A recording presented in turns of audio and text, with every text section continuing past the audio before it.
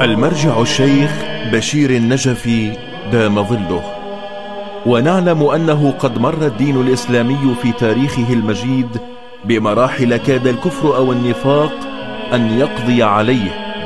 بل توهم ابن آكلة الأكباد يزيد بن معاوية أنه قد تمكن من إزالة الأسلام عن مقره وأخذ يعلن كفره وإلحاده بملء فمه.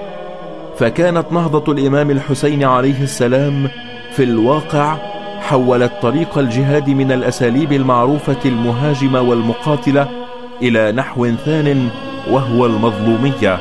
وبهذا تمكن الإمام الحسين عليه السلام بعون الله ورسوله ربط الإسلام بالعواطف فكان الأئمة عليهم السلام يأمرون ويهتمون اهتماما شديدا لإحياء فاجعة الطف. لأن فيها مقارعة الكفر والنفاق معا واضطر أعداء الإسلام إلى التمسك بمظاهر الإسلام ليبعدوا عن أنفسهم ما يجعلهم في عين الناظر من جملة الكافرين أو المنافقين.